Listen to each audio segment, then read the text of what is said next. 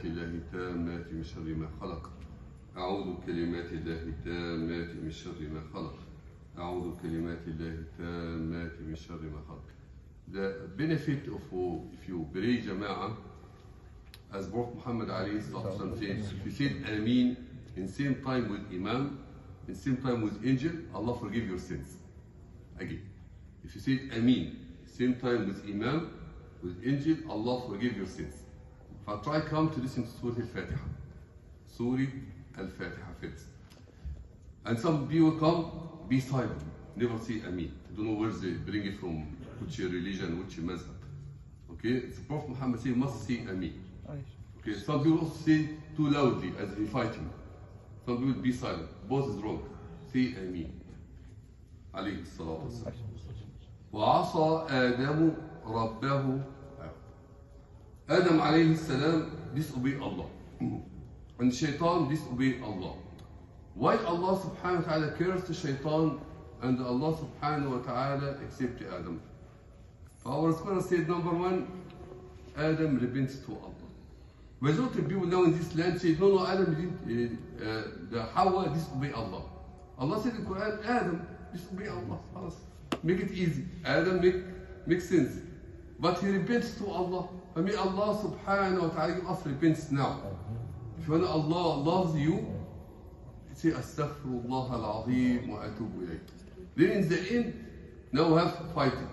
قال اهبطوا منها جميعا بعضكم لبعض عدو فهو الانمي الشيطان الرجيم may Allah protect us from shaitan he said فبعزتك لأغوينهم أجمعين and the shaitan he knows what does it mean Allah by your mighty I will, I will take them all of them away from your way except إلا عبادك منهم المخلصين May Allah subhanahu wa ta'ala make all of us from sincere servant to Allah آمين فقال أهل العلم فإن علامة الإخلاص ألا ترى لنفسك فضلا okay.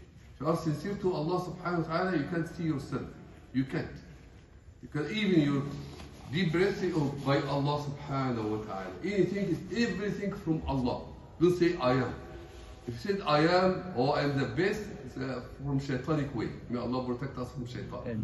Again. فعلامة الإخلاص may Allah give us all of us الإخلاص وما أمروا إلا ليعبدوا الله مخلصين له الدين you must be sincere to Allah prepare your intention anything any step in your life sincere to Allah you will find that in your grave you will find that inshallah paradise don't take any part when you raise your hand to Allah subhanahu wa ta'ala say oh Allah ya Rahman ya Rahim I am miskin I am your servant my father is your servant my mom is your servant.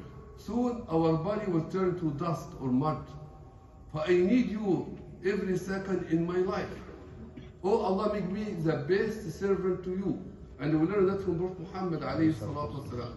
And our religion is not talk, not speech.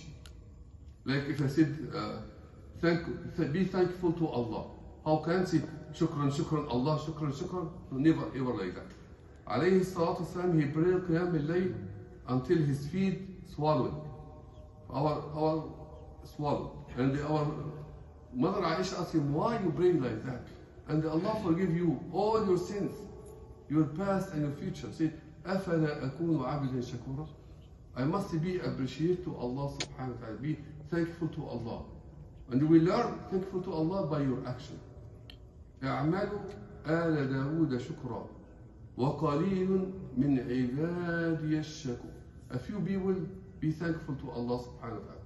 May Allah help us to be thankful to Allah by our action. جزاكم الله خير.